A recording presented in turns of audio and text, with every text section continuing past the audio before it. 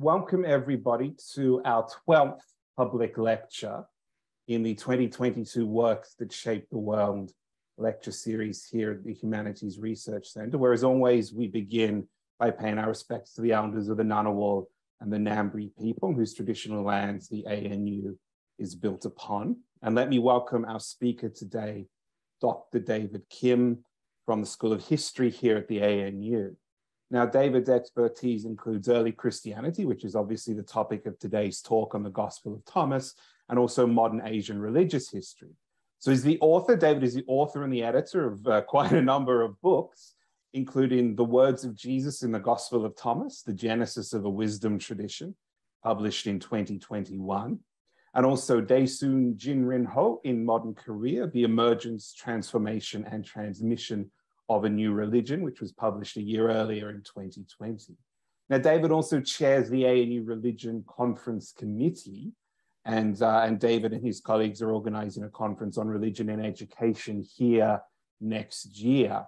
And in fact, David is behind a lot of the broader organization of religion related research, public activities here at the ANU.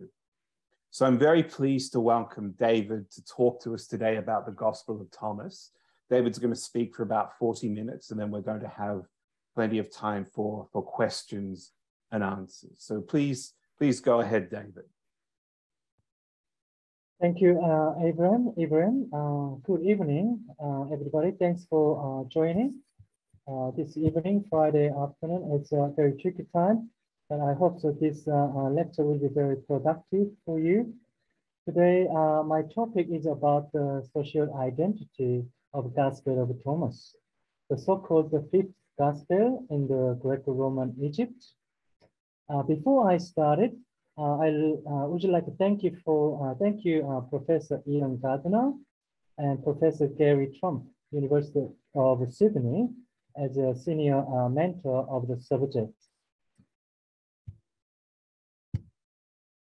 The, uh, today, the content of my lecture will be something like examining uh, discovery of the ancient Christian text, a history of the Thomasian scholarship and theories.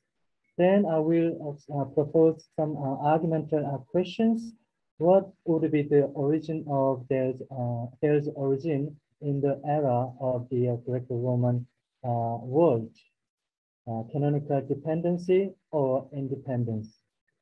Uh, for that, I will have uh, to uh, show the evidence uh, uh, such as uh, figures of oral tradition, theory for a school of Thomas, and textualization of Jesus tradition. Finally, I will also talk a little bit about the social and linguistic policy of Thomas, which will follow by Q&A times. There are a couple of terminology I will often use it. Uh, if you're not familiar, please uh, pardon me. You can ask me uh, at the end of the question, uh, at the end of the paper. Uh, otherwise, please uh, read the below the reference. Study of studies in the Gospel of Thomas have a long history in the modern world. ever since the discovery of the first portion of the text in 1897.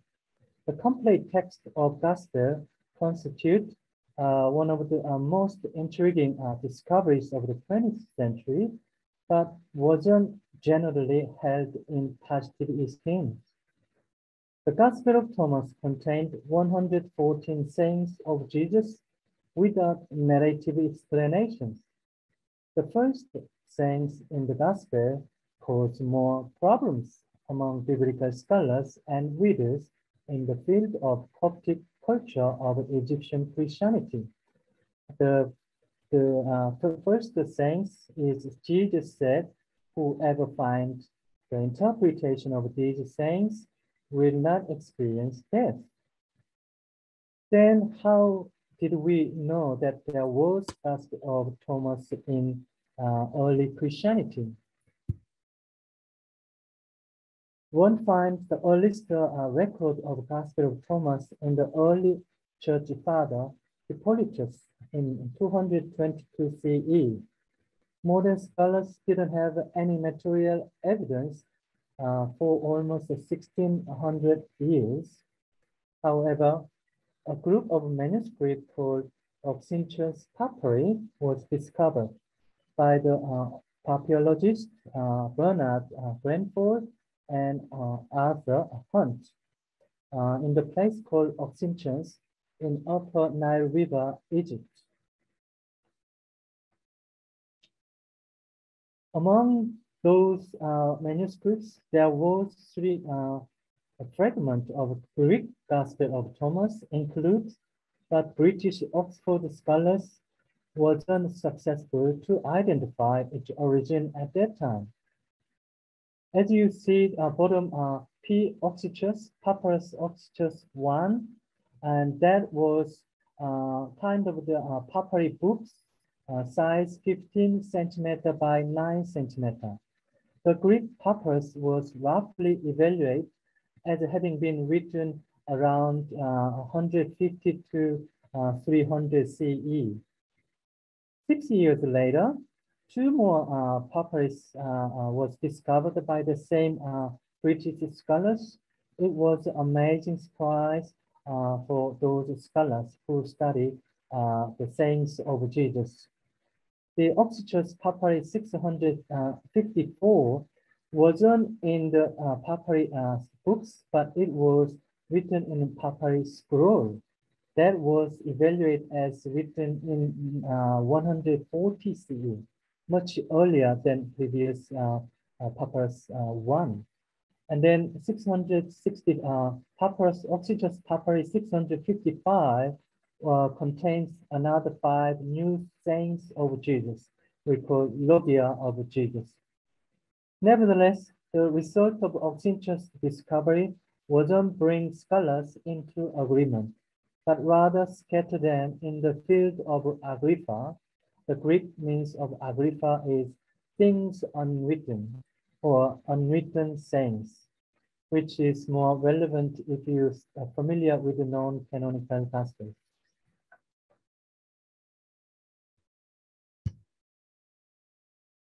About 50 years later, Coptic Gospel of Thomas was discovered as part of the Nag Hammadi Library in December 1949, 45.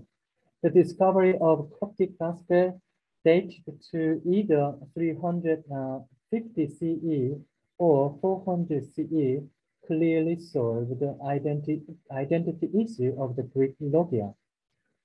The relation of the uh, Oxyrhynchus papyri to Coptic gospel was explained by a French scholar, Henri Charles Puech, in 1952.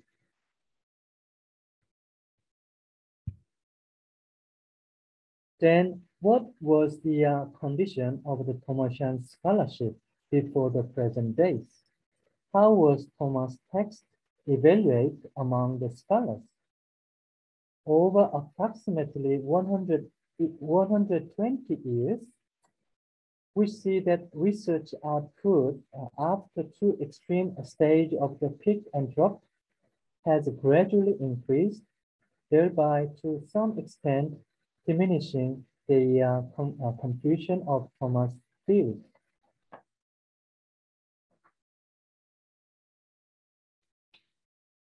The diagram shows that 77 books and articles were published between 1897 and 1879, and 30 official writing was, uh, was between 1904 and 1905, reflecting the serious concern of biblical scholars.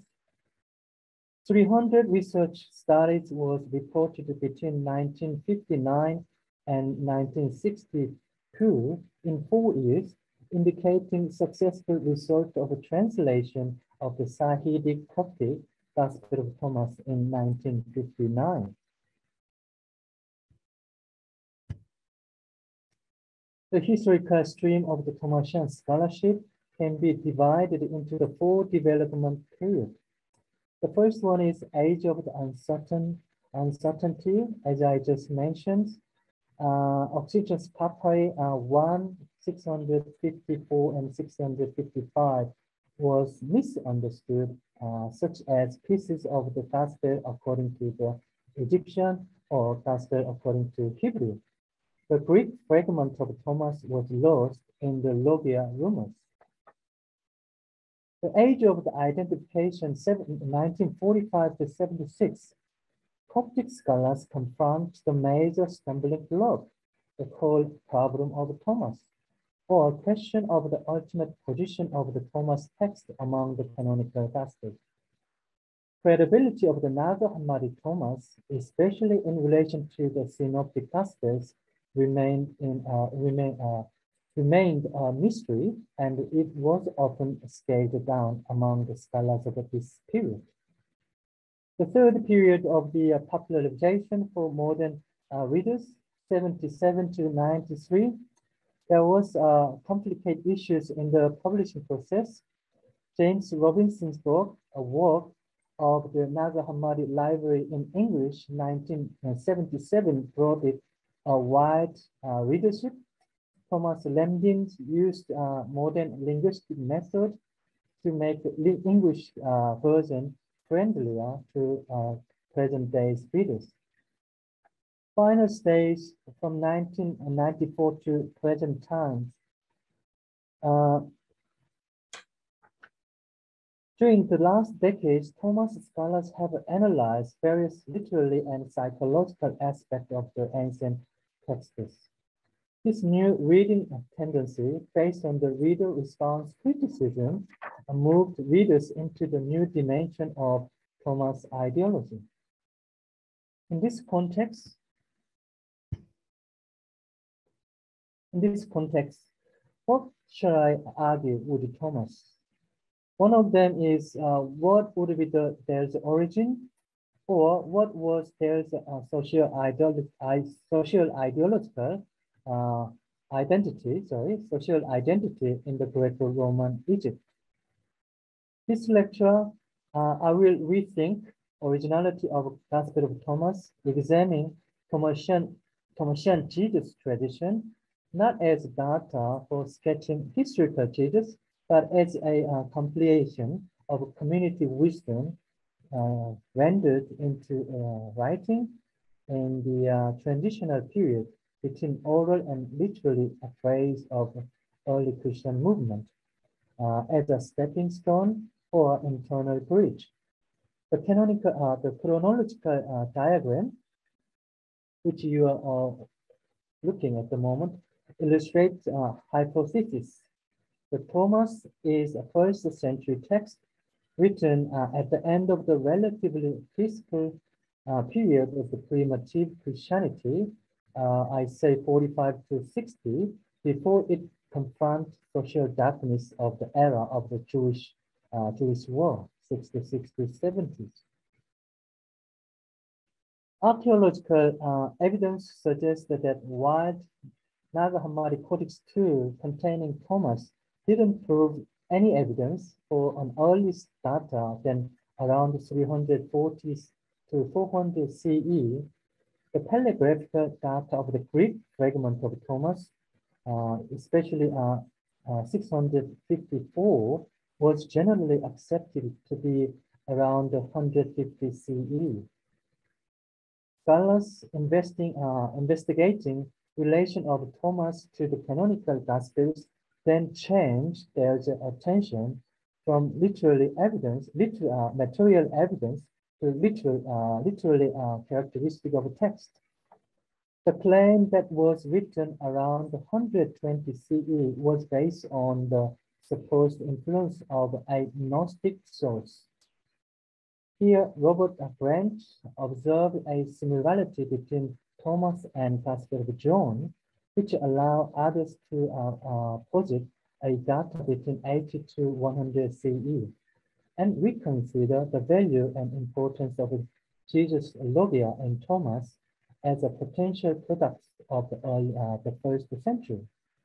However, if one simply uh, compared the uh, particular literary character of Thomas with other ancient writings, origin of the text can also be traced to the period before 70 or 80 CE, on the understanding that Synoptic Gospels were written after Jewish war. If one is to take into uh, account this argument, it is problematic to support the Thomas, Thomas uh, community would write a text of Jesus' tradition during the socially insecure condition of um, 60s AD. Following steps of argument, we arrive at the uh, classical data for the composition of the Thomas that place it within the living memory of the disciples of Jesus. The common characteristic of Thomas with Q uh, underpin the argument of originality of Thomas from the era of a pre-canonical classical tradition. This reconstruction of an independent Jesus tradition will be a challenging point of the view for conservative readers. But if one accepts appearance of the Q between oral tradition and later literary gospel, the date of uh, 45 to 60 CE carries quite considerable weight as being most likely historical period during which the initial text of Thomas was recorded. Then can one prove the new theory for the origin of the Thomas tradition? Is there any evidence for this new approach? I would like to uh, show three evidence. Uh, among them, one of them is uh, something uh, relevance with the oral tradition. Thomas has many figures uh, of oral tradition. The oral, uh, for this, oral scroll culture in antiquity has been a subject of a frequent discussion in modern research, including studies of the Hebrew scripture, Qumran text, such as the Dead Sea Scroll, and rabbinic culture. These same oral practice would have held a sway in Jesus' movement of first century CE. Several Christian texts certified continuation of the verbal traditions as well as their effort in the world of written tradition. For example, if you see uh, the guy called uh, Apollos, for example, incomplete uh, teaching of the oral traditions of Jesus was passed on to a young Jewish man uh, of Alexandria called Apollos. He was identified when he, as a user of the oral tradition, came to Ephesus, uh, providing an uh, incomplete knowledge of the Jesus, uh, Christian baptism. Uh, if you see the, uh, uh, the Acts, the text of Acts, especially chapter 18 and 19, illustrate that tradition of John the baptism, water baptism, was communicated to Apollos without instruction. This was un uncovered through the Paul's observation at Ephesus, where Apollos had visit earlier. Account of the meeting of the eloquent man with Paul's uh, fellow worker Priscilla and Aquila in Acts chapter 18, 26 is the context in which the misunderstanding about oral tradition of Jesus and his teaching was corrected. This episode confirmed the ongoing uh, transmission and comparison of Jesus' tradition between missionary, different missionary parties.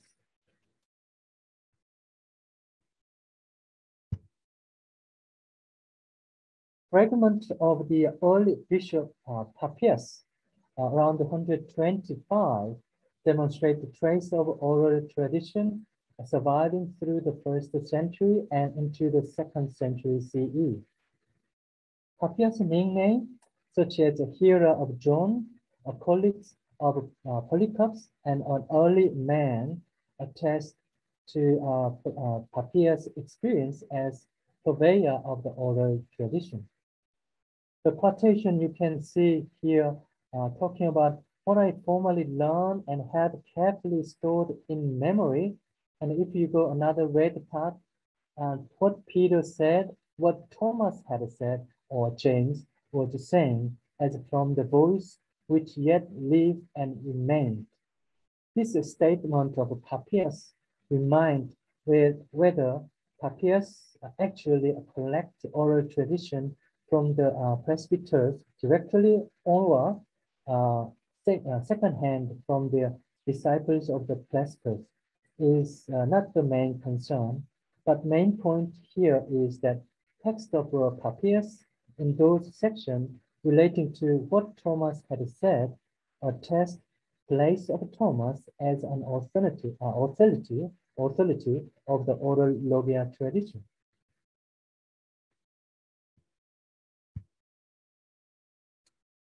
Accordingly, Gospel of Thomas uh, works all, uh, almost exclusively with a highly oral form of the isolated uh, uh, which nevertheless is the subject to modification in transition as well as reduction in being reduced in uh, to a written form. For example, uh, the textual composition of the uh, Logia 9 uh, so was parable in comparison with Mark chapter 4, 3 and 8 provide an instance of this phenomenon. You see the uh, capital A, uh, small a, uh, and the capital C and small c, and the capital F and the small f. It's comparing between uh, Gospel of Thomas and uh, Gospel of Mark. Here we see uh, uh, small a, Thomas A, he took a handful of seed, which didn't appear in Mark's text, offers a form of oral structure. At the same time, one can't imagine that the phrase about the seed falling on the rock in Thomas' text, small c, have uh, could have originated from Mark's nicely descriptive phrase capital C.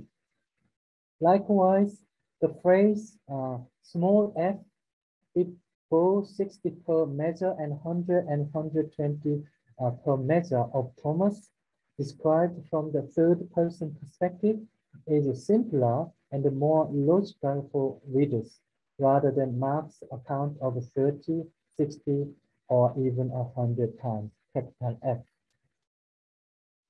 If the Gospel of Thomas has such this kind of the uh, primitive literary characteristic, one should recognize the origin of the composition as a pre-orderly uh, constitute logia heritage of the pre-mark period, not directly related to the pre-mark written materials.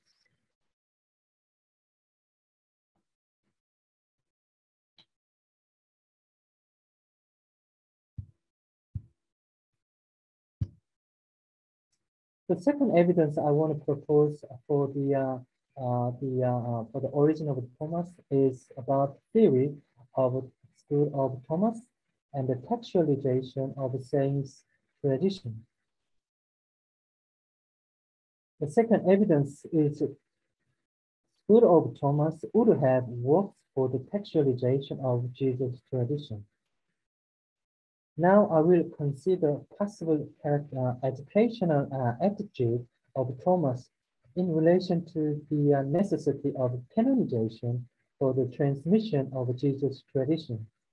Did Thomas possess a institutional skill that would have permitted him or his disciples to undertake process of the community canonization?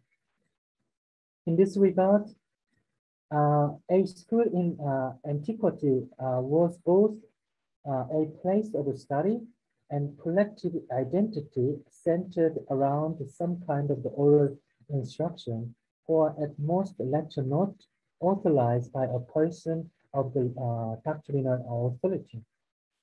The book of Acts portrayed the Paul operating in such a context of schools, while at Ephesus, we are told Paul operated a school in which 12 chosen men was intensively trained in the place called uh, the lecture hall of Tyrannus for two years.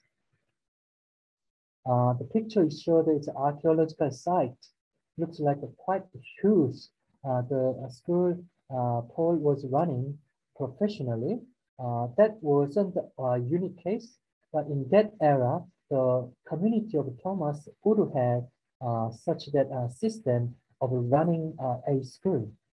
In this perspective, so it is classical to propose the formation of a school atmosphere in the Thomasian community, since the members of the community confronting end of the oral tradition would uh, definitely want to convey uh, the teachings of their correct founder, the Thomas the disciple. Who then actually uh, who then actually composed the original text meant to convey the school's teaching of Thomas.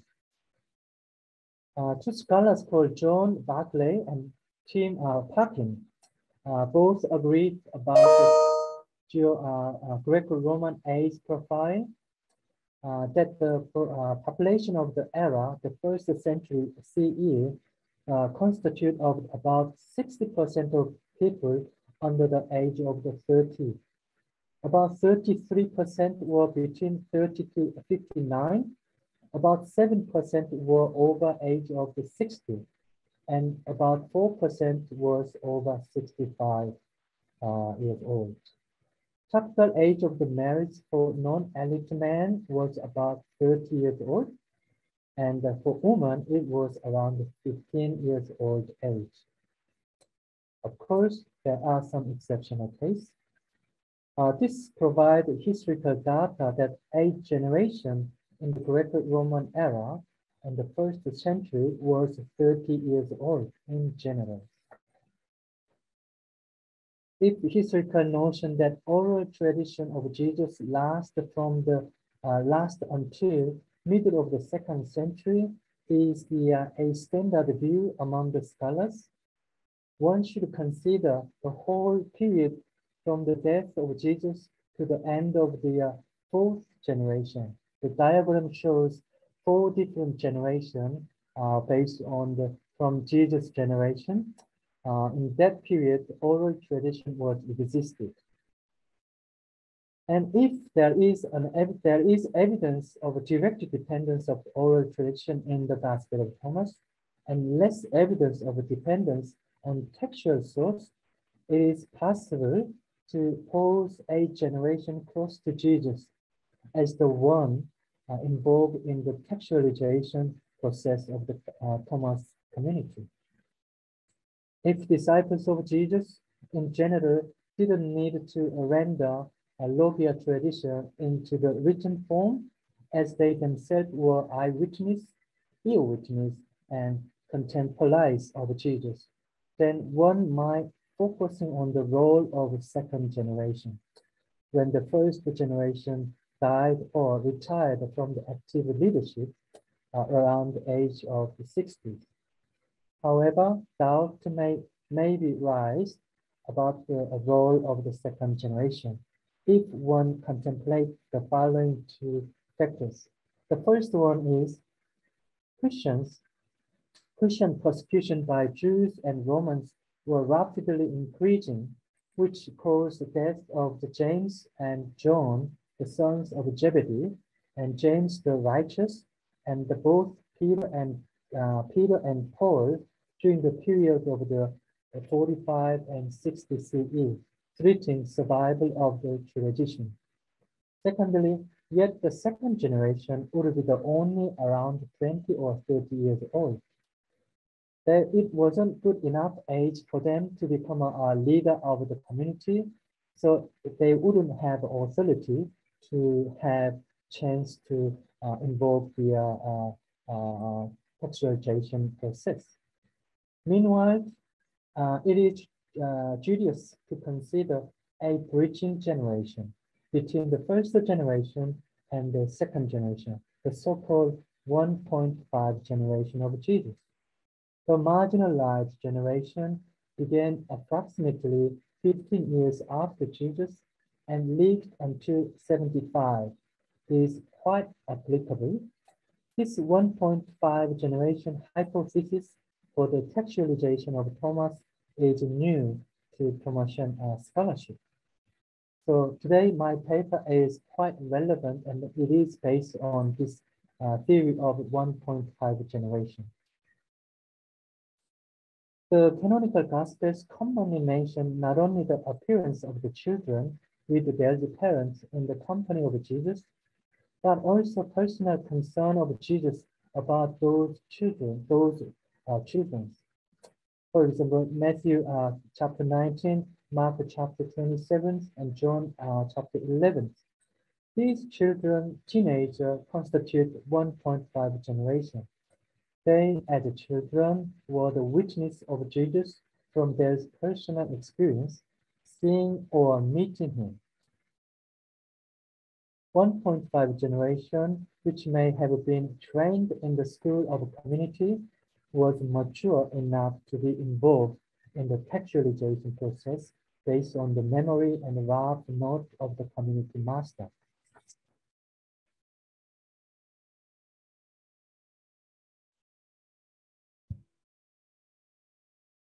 Initial purpose of the creating a documented tradition on the basis of the memories of the living voice is implicate in the literary uh, Batang of Thomas literary genre uh, of Thomas. The fact that there is no uh, uh, no vestige of the canonical uh, narratives, no reference to the cross or resurrection issues, and no trace of the reductional dependence on any canonical version of each saint, indicate the purpose of the Logia keeper, Thomas, to draw up a wisdom books uh, a Sophia book. This purpose is further demonstrated by the absence of the miracle stories, which also, which for the canonical gospel became um, one of the major part of the narrative. If you see another uh, huge number of the catchwords in the Gospel of Thomas, provide a primitive organizing figure of the text and supplies evidence that compiler of the Thomas text gave some thought to aiding the memorization of the logia following the most common uh, educational strategy of the era. In fact, there are 64 uh, catchwords in the Gospel of Thomas, which proves uh, what I'm saying at the moment. And another figure is doublet, uh, another indicator of the rudimentary character of the textual reduction. This phenomenon indicates the primitive character of the composition, where in more than one verse version of a logion has been collected and not resolved into a single form in the process of the reductional activity. Thus, Thomas in this relation has many pair of pairs of the doublet, such as Logia 55 and 102, Logion uh, 56 and 80 and Logion 87 and 120 are the most clear cut example of the doublet uh, logia in the Gospel of Thomas.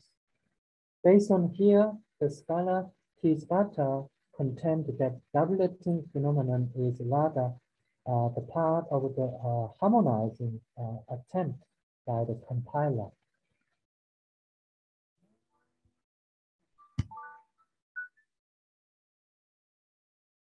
The last evidence I want to talk about is the sociological, uh, social uh, policy of Thomas.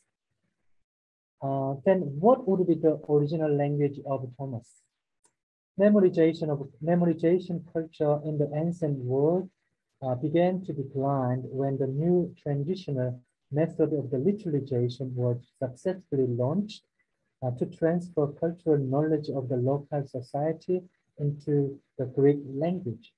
The imperial lingua franca was the most dominant and useful communication medium as English is in modern days.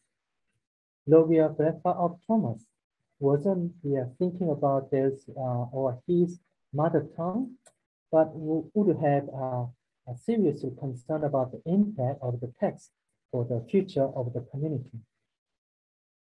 There are a uh, couple of the uh, suppositions uh, that origin of the uh, original language of Thomas was uh, Aramaic, which was argued by uh, Kurzweil, claimed the original language of Gospel of Thomas was Judean Aramaic. And another scholar, uh, Edwin uh, Yamauchi, uh, one of the, those believing that text of Thomas reflect a free uh, Christian Gnosticism, claims that Gospel of Thomas, like the Acts of Thomas, was originally written in Syriac. Uh, and but those are not quite strongly approved.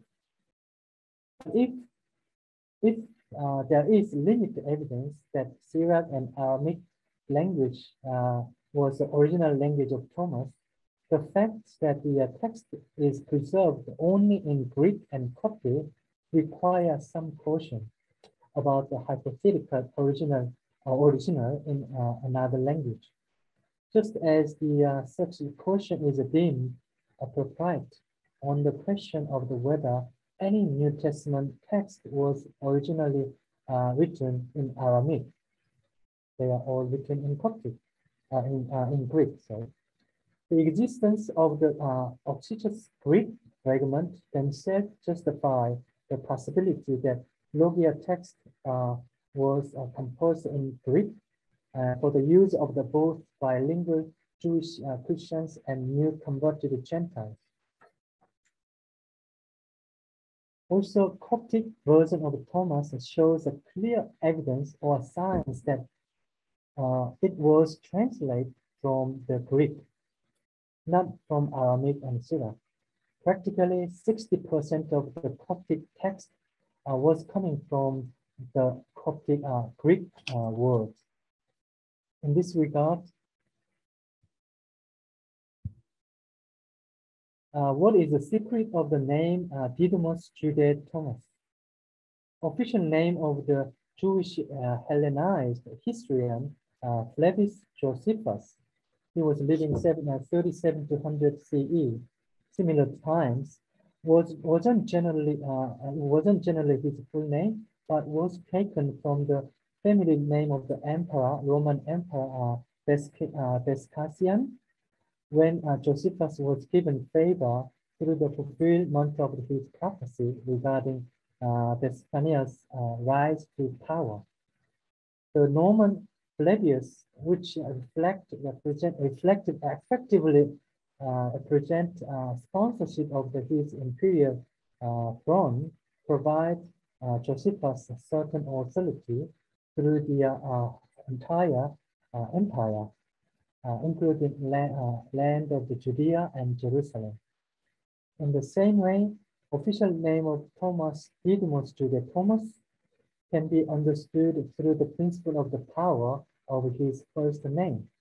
If Coptic translator thought about the non-Jewish Greek speaking, speaking Christians in the Hellenistic society, initial name in such a uh, compound identification emblematized a primary identity where he come from or what kind of social position he would possess. Coptic translator used a Greek nickname, Didymus, uh, at the front of the official name. This manner of the writing Didymus Jude Thomas appeared to involve the linguistic power of Greek as a major communication tool in the Greco-Roman world.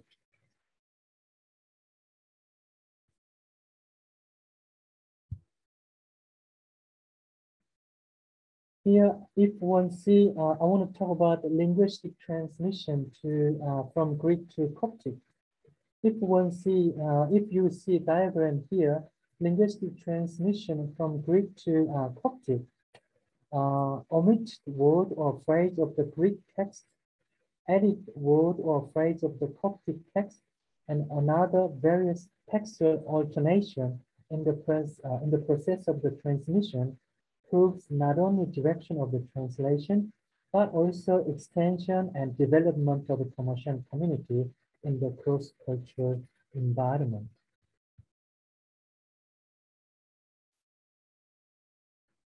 Three Greek uh, fragments are not from the same one, but they are all from different uh, background. So they're not exactly the same. But if we still compare these three uh, Greek uh, uh, Greek fragments, uh, most most of the 17 Greek logia has has been changed into the Coptic in some aspect of a literary composition. Among them, nine Greek logia was omitted and four Coptic logia was extended. And 13 logia of the Greek text have been rearranged in their internal sequence by the Coptic translator. Based on the material we have for uh, comparison, we, we can see uh, the clear signs that Coptic uh, is a, a, translation of a Greek original, that the key uh, point of the, each logia hasn't been uh, altered radically, even in the process of the trans, transmission and translation.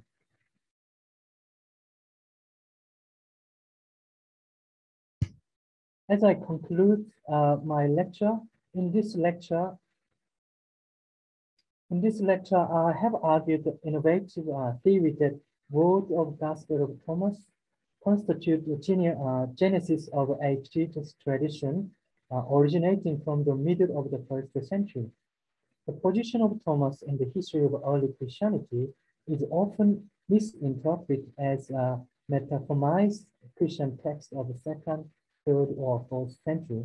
But main argument has been to uh, reinforce the uh, written source view of the text between oral tradition and synoptic tradition of Jesus.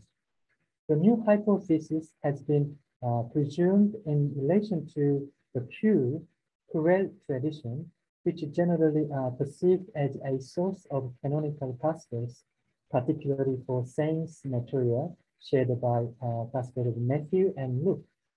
The Logia tradition of Jesus and Thomas is not the same as traditional Q, but is actually a different kind of the Q, which is simply called uh, Thomasian Q tradition of Jesus. The Logia and oral Logia tradition of Jesus, which arose from the speeches of the historical, historically living person, is undeniably uh, shadowed in Thomas. Eyewitness report of canonical narrators present a clear picture that uh, rumors logia circulate among the new uh, new Jesus uh, communities without clear formation and regulation or arranged order, while the eyewitness disciples were still uh, testifying these logia tradition over the land of the Palestine. The passion of the Coptic translator was to support and upgrade uh, primary uh, purpose of the initial leadership in the, uh, in the community of the Thomasian society. This view is comprehensive as the text not only survived in uh, its uh, transitional history, but stood as a meaningful heritage for the descendants of the Thomasian community, even in India. Thanks for uh, your attention. Um, quite happy. Thanks for your time as well.